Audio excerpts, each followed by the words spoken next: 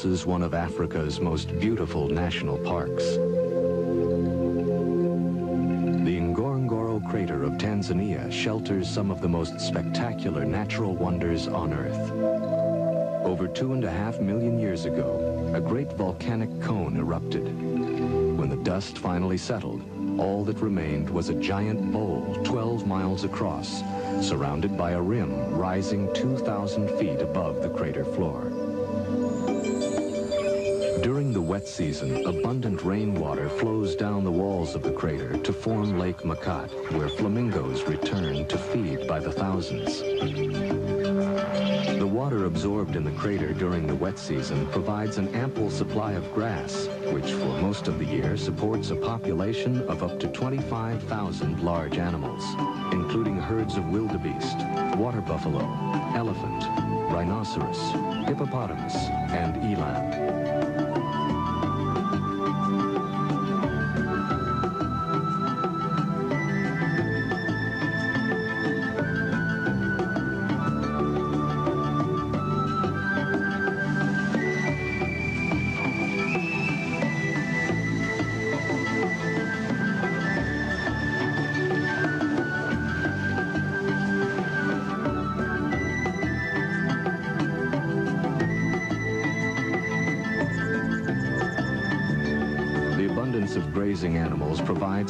Staple food for carnivores of the crater, jackal, hyenas, cheetah, and lions.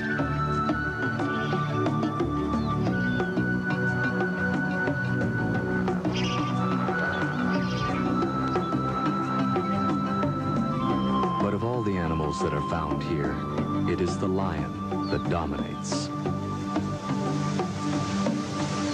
About 80 lions live in family groups or prides of eight or more, spread evenly across the crater. From records kept over the past 20 to 30 years, it is known that the number of lions in the crater has remained about the same. The gestation period of the female lion is about 110 days.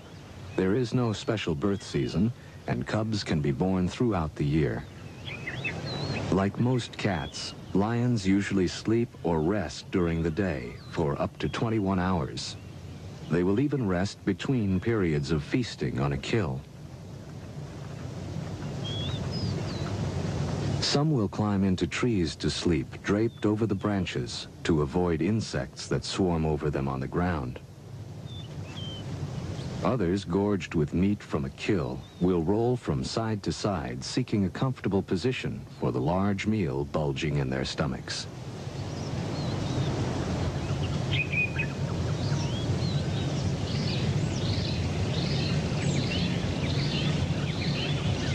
The pride is a complex social structure consisting of from 2 to 20 or more females and their cubs. The females are related to each other and usually remain together throughout their lives, as they do most of the hunting.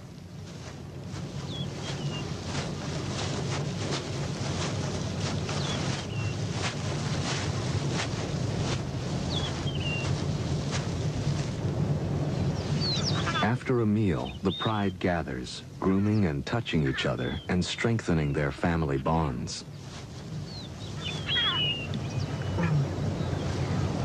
During rest periods, the cubs stay close to their mothers or other females.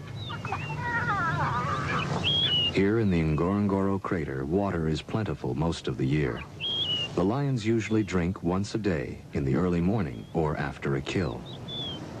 Male lions are not permanent members of the pride, which may have from one to four adult males. These may stay in the pride for as long as six years, but more often lead a nomadic life, traveling alone or in small groups throughout the crater.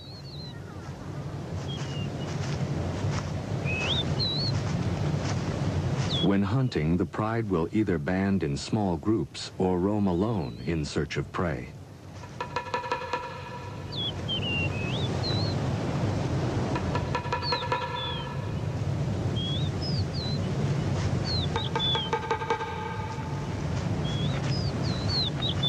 At times, a female with newborn cubs will seek solitary shelter away from the males. No one is certain if she chooses to leave or is forced away from the close social structure of the pride. Lions have few distinctive markings to assist in recognizing other members of the pride, especially over long distances. Therefore, they must approach another pride member in a direct manner, without hesitation. Should an approaching lion of the pride seem unsure of itself, it may be attacked as if it were a stranger.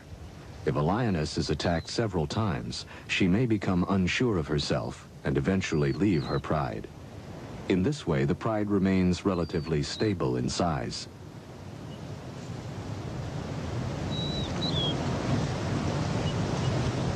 Like most young cats, lion cubs spend a great deal of time playing. Their games of attack prepare them for the lifelong search for food. These two, a male and a female, are about a year old. The females are less temperamental than the males and show little reaction to mistaken identity. So most females remain with the pride, while the young males are eventually forced to leave. By the time they are two and a half to three and a half years old, young males are forced out by the mature males, who take over the pride for mating. And so the pride receives an infusion of new blood from the mature males, who fight for mating privileges. But in time, these males will be driven off by the younger breeding lions. Due to increased tourism, the lions have become accustomed to vehicles and to humans filming and observing their behavior. The camera crew has left the camera running while the young lions inspect the tires. They are distracted by a shout from the cameraman, who is more in fear for the safety of the tires than for his companions. Koi.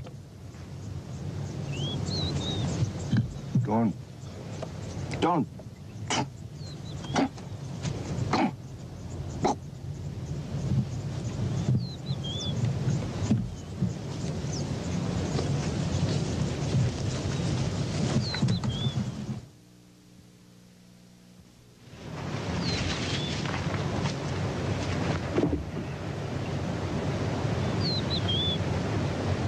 The yearlings return to their mother for comfort and grooming. In a few years, the male yearling may be driven from the pride by an older male seeking to stake a claim. The young male will then spend a few years wandering alone or with other young males. As summer wears on, the great herds of wildebeest range over the crater floor. Grazing in the shimmering heat of the sun, the great herds are one of the main prey of the crater lions. The zebra are safer on the barren plain, but as they move into the taller grass, they are now at risk by the stalking female lions. The mottled brown coat of the lioness blends perfectly with the tall grass, now parched and brown in the summer sun. Hardly moving, the great cat waits for the unwary zebra to move closer to its place of concealment. It is not unusual for only one lion to hunt a zebra. Even though she may have greater success in numbers, once the lioness reaches her prey, the zebra will have little chance of survival. She stalks downwind of the zebra, slowly working her way closer and closer. Joined by another lioness, she continues to wait for the zebras to move closer. Lions do not have the speed or stamina of other great cats, like the cheetah, and must wait patiently while their prey moves closer, and then, with a short sprint, attempt a quick kill. Less than 50 feet from the zebra, the lioness waits. She is barely visible to the unsuspecting herd. She begins to close in, hunched low in the tall grass.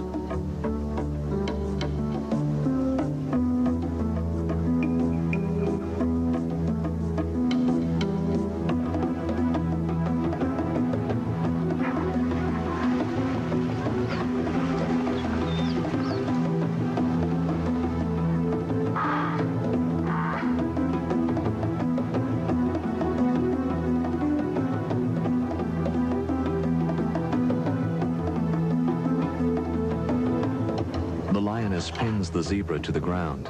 The rest of the pride begins to devour the still living zebra.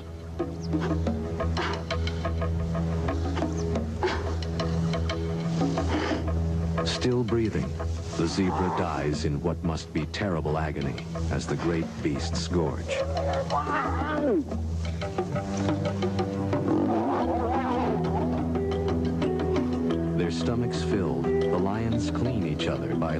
The still fresh blood from each other's muzzles and coats.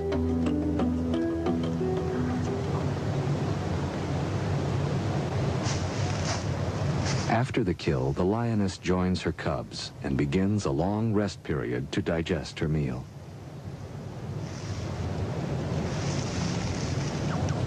Some miles away, a second pride is preparing to hunt. Lions, like most carnivorous animals, live within a well-defended territory. This territory must contain a source of water and plentiful food and can encompass from 10 to 100 square miles. In the heart of the territory, the lioness is able to bear her cubs, protected by the other members of the pride. On this day, a water buffalo has been killed near an access road in the crater. Unconcerned by passing tourists' vehicles, the pride runs to the fresh kill.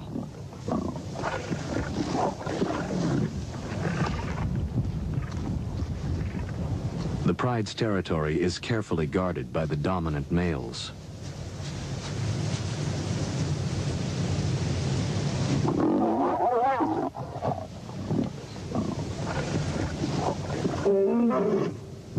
To alert trespassers, the male rushes forward, bellowing his rage to deter nomadic lions from entering his territory.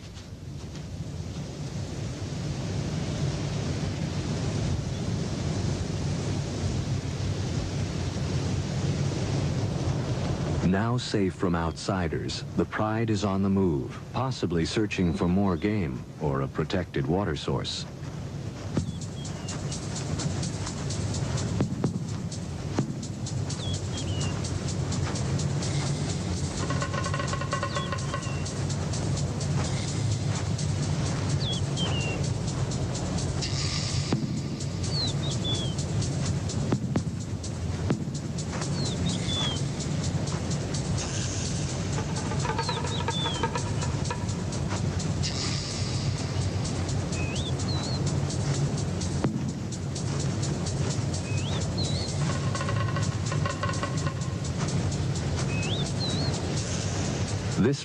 Has a large concentration of cubs and yearlings.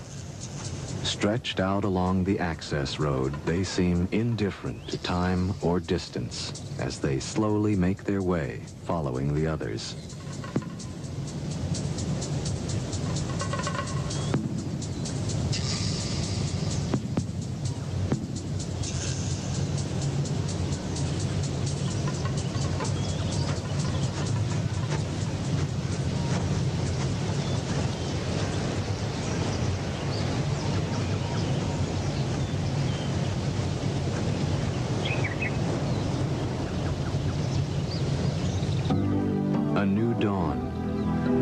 Stretches out in the high grass and rests throughout most of the day.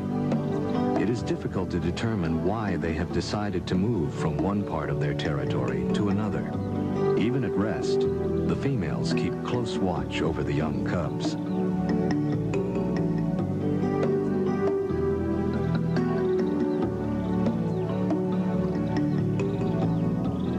Lions have a well-defined system of communication.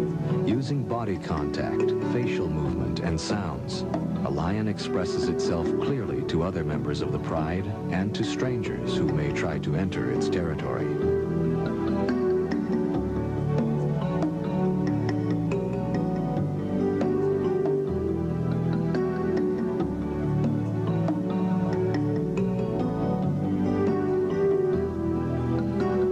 As spring turns to summer, flock of crowned cranes flies over a herd of zebra feeding on the open savanna.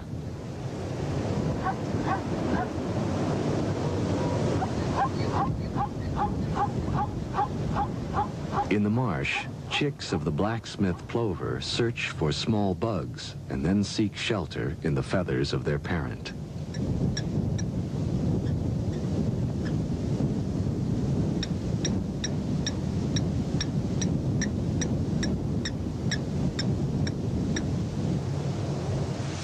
Emerging from her hiding place, a female and three very small cubs set out to join the pride. For the young cubs, it is a long trip across the open plain. Camouflaged by the long grass, the female usually remains in hiding until her cubs are old enough to walk. Lion cubs are almost helpless when born. Weighing from two to five pounds at birth, they can barely crawl and do not open their eyes before one or two weeks. Newborn cubs have a slightly spotted coat, which helps to hide them in the thick grass. This color changes after three to five months. Sensing that the smallest and weakest cub is falling behind, the lioness gently carries it by the neck across a dry mud bank, while the other two cubs scurry to keep up.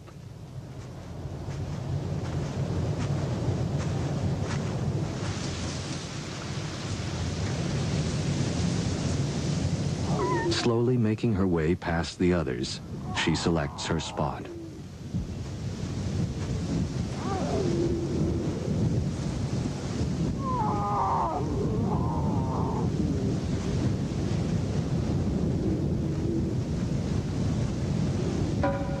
Here she rests while the cubs nurse.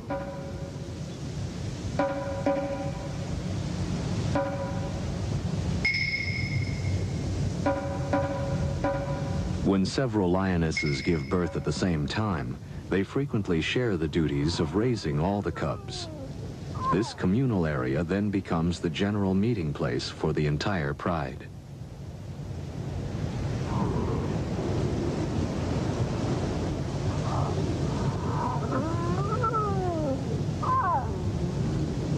Communal gatherings allow all members of the pride to become acquainted with the cubs.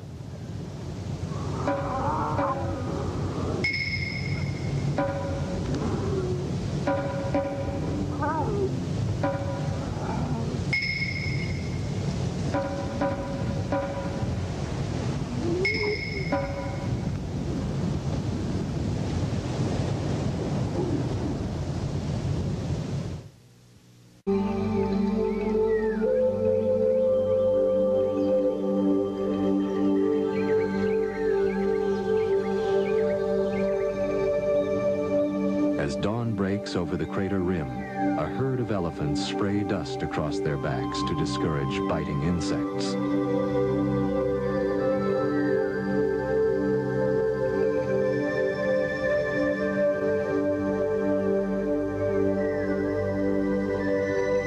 Along the edge of Lake Makat, a flock of migrating birds pause to feed. Among the trees, a small herd of zebra and an old elephant with only one tusk feed peacefully in the clear morning air. Near the lake shore, gazelles graze contentedly as they share their pasture with a flock of ducks. Knee-deep in the mud of the swamp, a huge water buffalo wallows contentedly. The buffalo is the lion's largest and most formidable prey and is capable of putting a marauding lion to flight. Lions are usually wary of an adult buffalo, which can severely injure or kill an adult lion with its sharp horns. During the heat of the day, the pride rests in the soft, high grass. The lion leads a life without threat, for their only real enemy, the hyena, will not attack the entire pride. If caught alone on the plain, an adult lion and cubs, or even young adults, can be at great risk from a pack of hyena. In the afternoon, the yearlings spar with one another, or their mother, who usually gives them a quick swat for their trouble. Then, relaxed and seemingly full of affection for the cubs, the female joins in the afternoon play.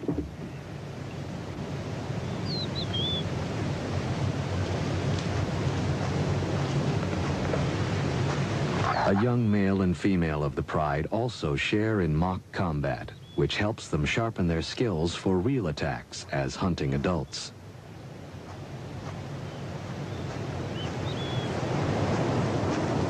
Late in the afternoon, the pride begins its quest for prey. Separated from a small herd of zebra by the mud flats of a slowly drying lake, two females are forced to leap a small stream.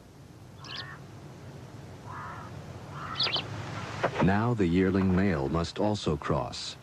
He seems in a quandary whether he should jump as the adult females have done or swim.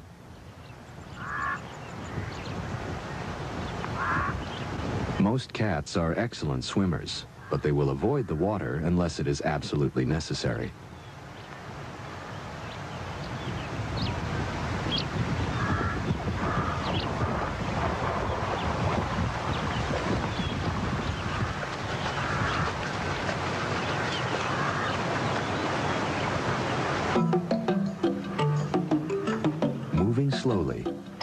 Spreads out across the plain, making its way to a herd of zebra over a mile away.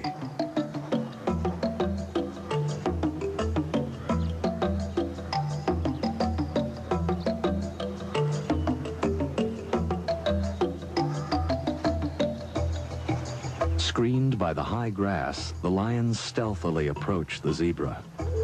With the wind blowing from the zebra toward the lions, the zebra are unaware of the approaching danger. Lions are known to approach their prey from either upwind or downwind.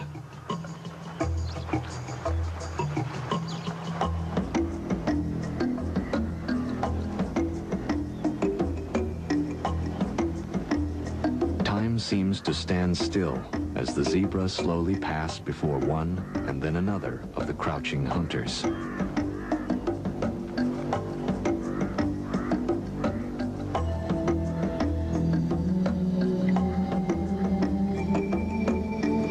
Zebra are crossing this area to graze near a large herd of wildebeest.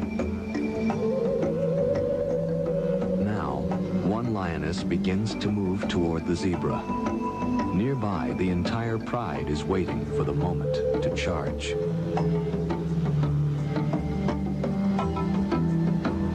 Both wildebeest and zebra now seem to sense the presence of danger and barely move uncertain from which direction an attack may come. Then, as if spectators at a sporting match, the herd watches as the lion attacks.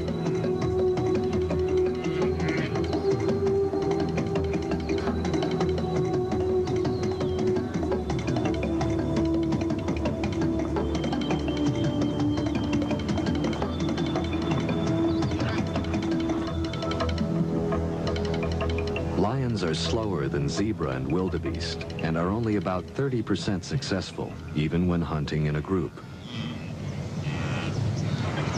After resting, the pride prepares for another attempt. The dominant female heads off in the direction of a large herd of buffalo. Extremely dangerous, the African water buffalo can weigh as much as a ton. The males gather around the periphery of the herd, and the females and calves stay closer to the center. Seldom do one or two lions attempt an attack on a small herd of buffalo, or even on a single member that is feeding alone. But on occasion, whether they are truly hungry or just young lions practicing their hunting skills, such an encounter happens. It is seldom rewarding for the lions. Suspicious, short-tempered, and cunning, the buffalo is a formidable adversary and are extremely aggressive when confronted by a lion.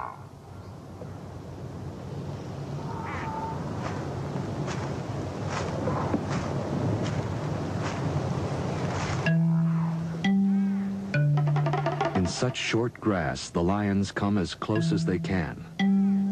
Then they attack.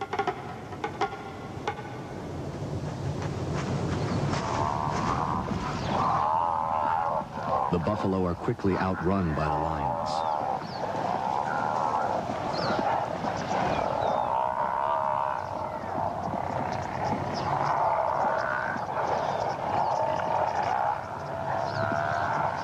It's not a fair match. Two Lions and three Buffalo. The Lions quickly break off when the Buffalo turn to confront them.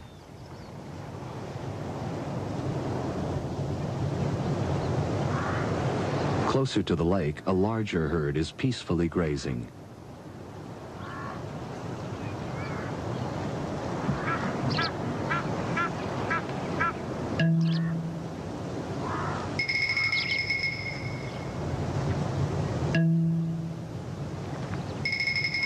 Here the grass is higher, which affords the lion better protection from being seen.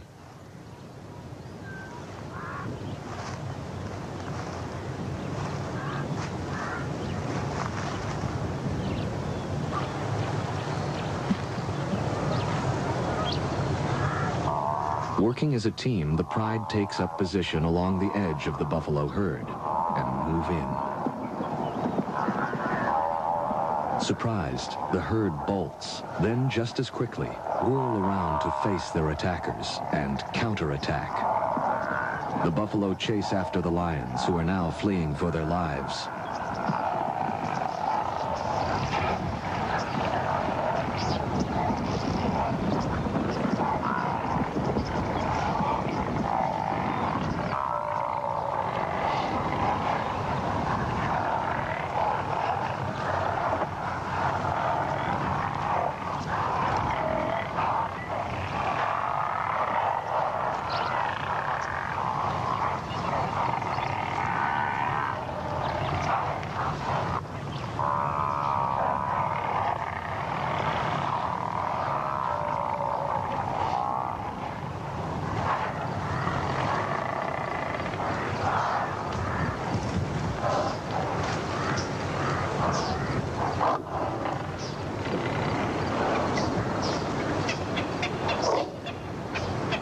Seemingly convinced that the danger is over, the buffalo move back to the marshy ground at lakeside.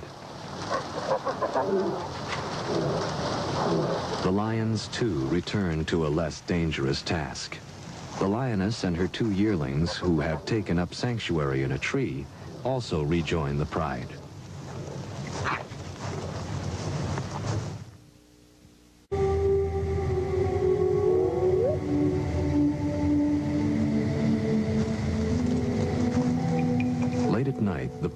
Hungry and on the prowl, move, cubs and all, to a better location for hunting within their territory.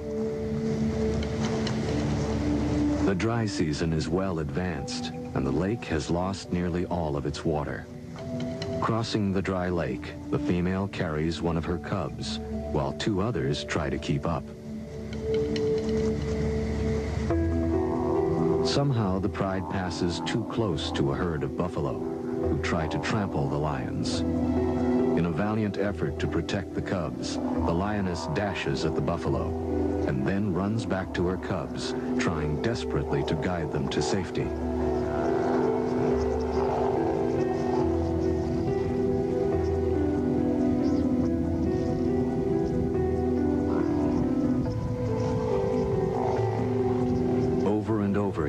At the great beasts, but the buffalo will not scatter and continue to charge the lioness and other members of the pride.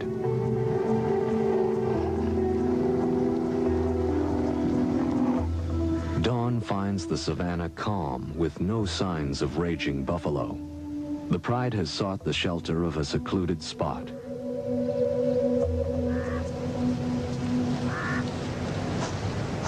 The only animal now in view is the lioness as she searches for her cubs. Time after time she calls, but the cubs have disappeared, trampled by the buffalo herd.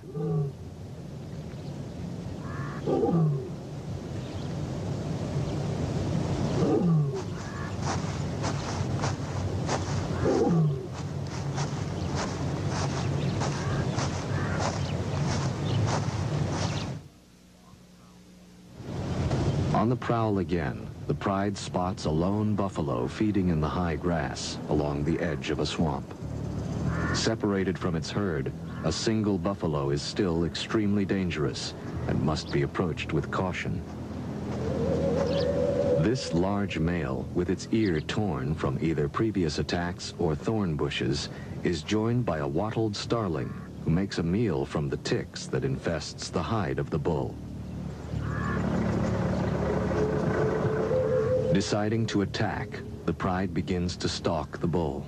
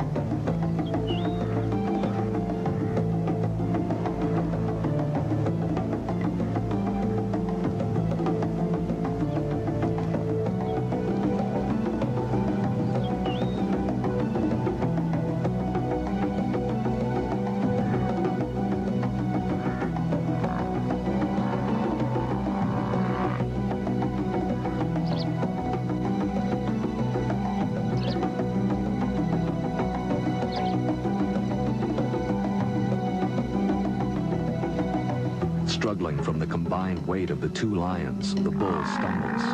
The other lions leap on him, robbing the bull of its strength.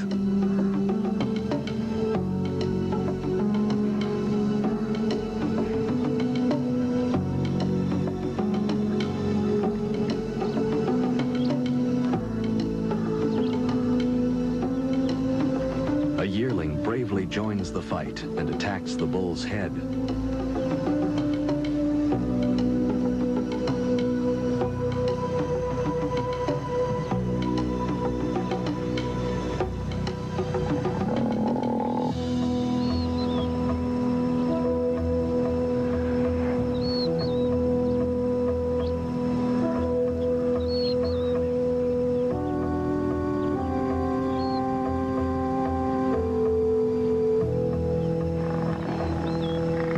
Other buffaloes approach to drive the lions away, but the lions are not easily dissuaded.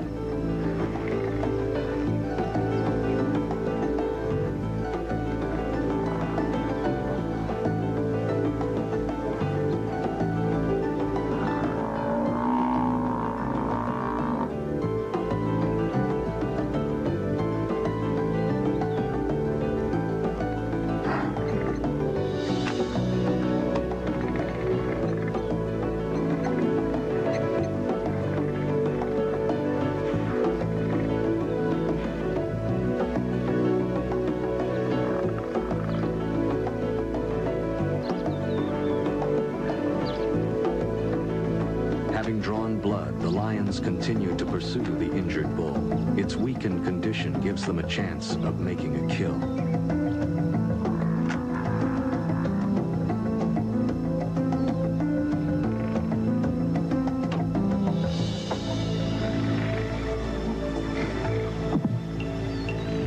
The injured bull seeks refuge in the swamp, but the lions hold their position at the edge of the herd.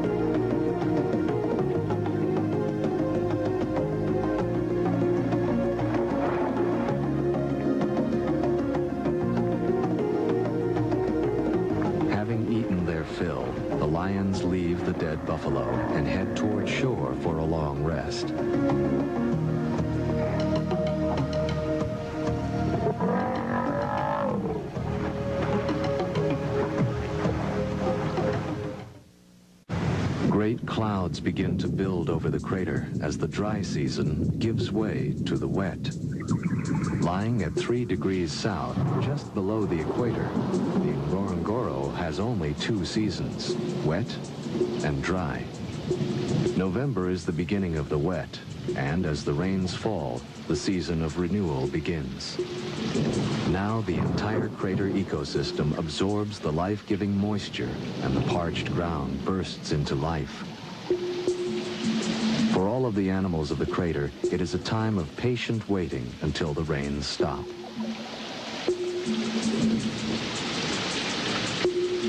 Wildebeest, Grant's gazelle, lion, all soak in the cool rain. Within a week, the crater will turn green and a carpet of yellow flowers will cover the savanna. With the gray dust of the dry season finally settled by the rain, the crater puts forth the sweet, earthy smell of a new spring. The sun bursts forth to disclose the broad green carpet of the crater floor. Now the lake will fill, frogs emerge from the mud, and millions of insects issue forth as a banquet for the thousands of birds that quickly return to this extraordinary valley. African spoonbill preen each other's feathers as a black-winged stilt probes the shallows for tiny aquatic organisms.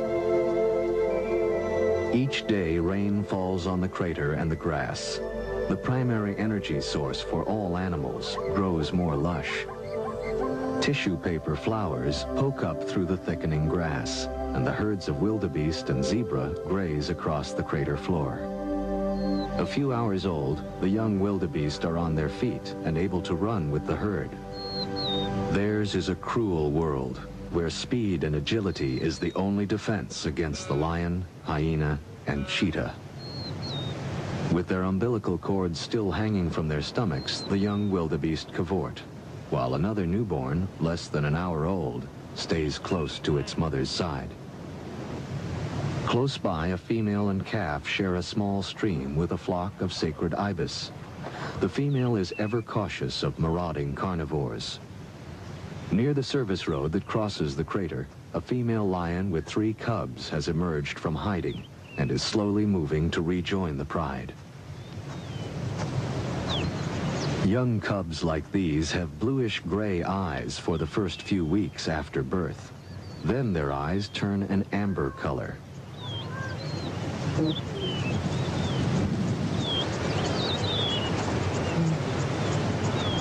between the periods of rain, the pride sleeps in the midday sun.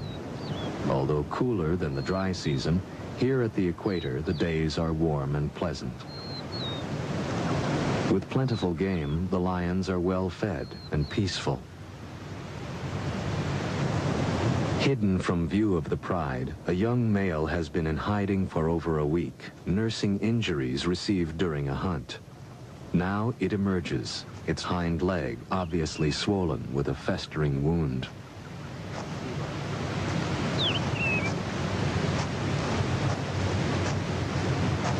Slowly, it approaches its mother, the lion which has just had the three cubs.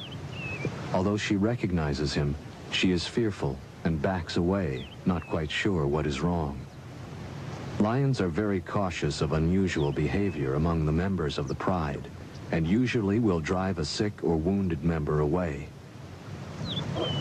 Another lioness rebuffs the injured male with a cuff of its paw and then snaps with bared fangs. Then the entire pride moves its location, leaving the young male to fend for itself.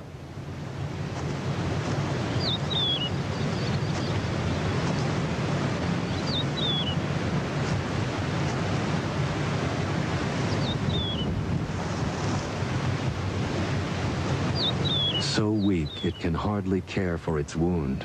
The male is no longer able to live with the pride.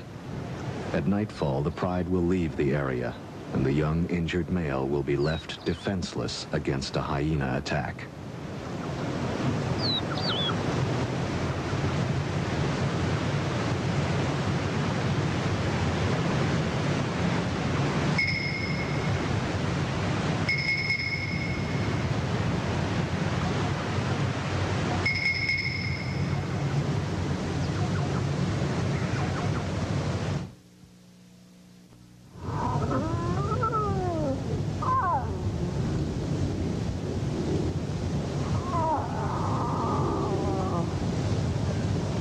For millions of years, the cycle of life has played out in the Ngorongoro crater.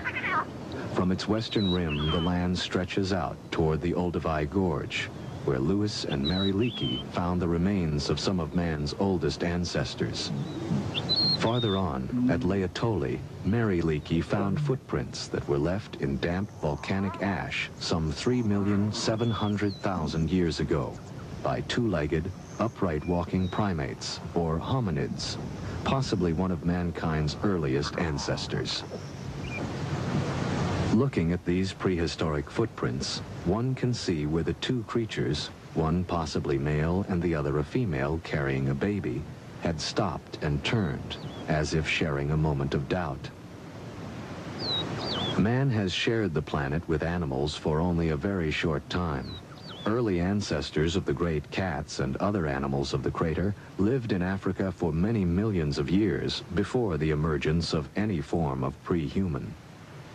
Yet in the last 100 years, man has so altered the environment that thousands of species of animals, birds, fish, reptiles, and plants are extinct. Today, the nations of Africa share a common dilemma. The need for more farmland has reduced the once great herds of wild animals that roam the continent. However, since the end of World War II, much has been done to establish national parks in order to save the remaining unique species in Africa. This is the legacy of the Ngorongoro Conservation Area.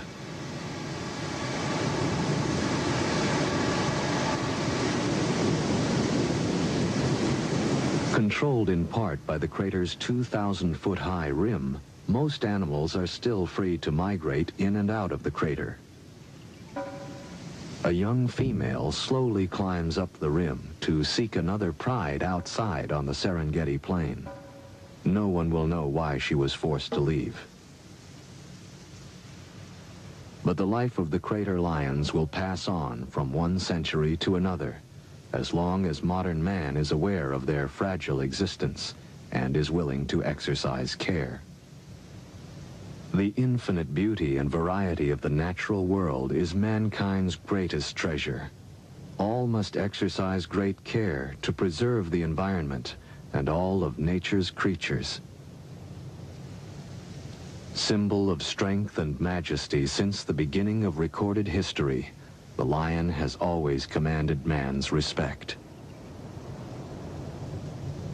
For centuries, it was considered an act of courage to kill a lion, and only recently have certain tribes given up the practice of a young man killing a lion as his rite of passage into manhood.